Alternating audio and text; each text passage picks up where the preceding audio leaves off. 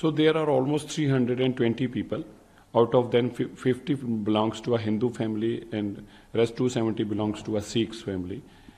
And 120 are from outside the Kabul, who has uh, from uh, Ghazni, Jalalabad. They came for the flight to Delhi because we have arranged for their visas also. In the meantime, we have arranged a charter flight to evacuate them from Afghanistan. Uh, the situation got worse worsened there the Taliban, who were supposed to be in a capital in another 20 days, suddenly, after leaving, president left the country, they came very next day in the morning to Afghanistan. So the airport is totally closed. There are now uh, another around 32 people, sorry, around 40 people now, which I have got a list who have contacted me from different sources.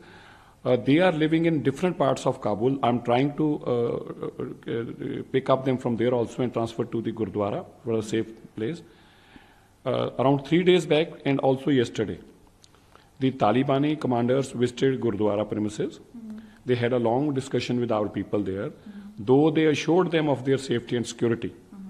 But our people are very fearful, are afraid.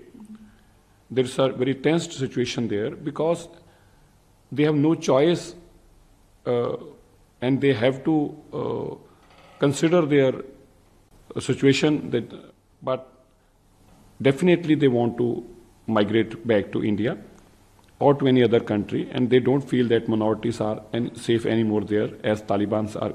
The rule is in the hands of Taliban.